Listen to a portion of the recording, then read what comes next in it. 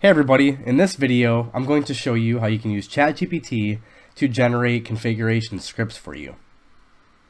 So the other day I had to create a ton of VXLAN tunnels on a FortiGate and I didn't feel like having to manually go into like Notepad++ or something and adding all these interfaces manually. So I had the idea to create two or three and then ask ChatGPT to continue the sequence of the config script because I was just doing like VXLAN 10 through 75. In that case, everything that was unique, I just asked it to continue the pattern. So if I did VLANs 2, then 3, then 4, with VNI 2, 3, and 4, it knew to follow that pattern. Like you can see in the example here, with the end of my VXLAN script.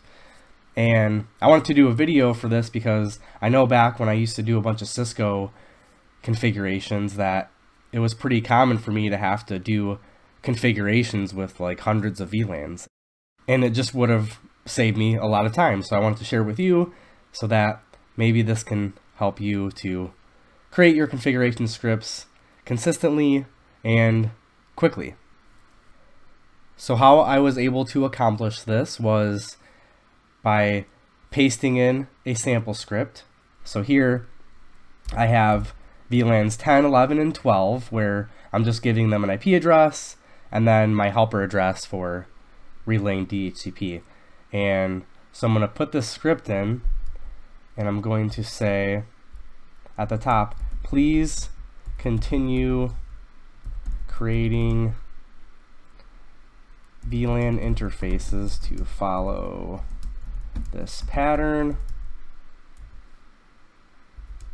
Do all the way up to, I'll just do like 50 or something.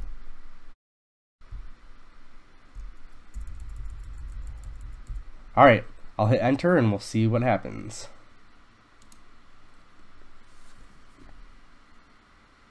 And it didn't even have to think about it.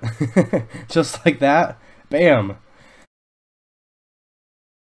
So I'm aware that you can use Excel for doing stuff like this. You can use Excel macros. I was never really good at that kind of stuff. And I used to try to find ways to do stuff like this all the time with find and replace trickery or whatever and variables.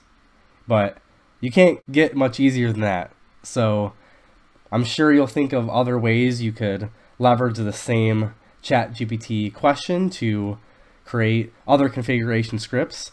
I would love to hear about ones that you think about, so please post in the comments of how you think you can use this to save yourself some time. As always, thank you for watching the video. Please like and subscribe. I would appreciate it. And I will catch you in the next video tutorial.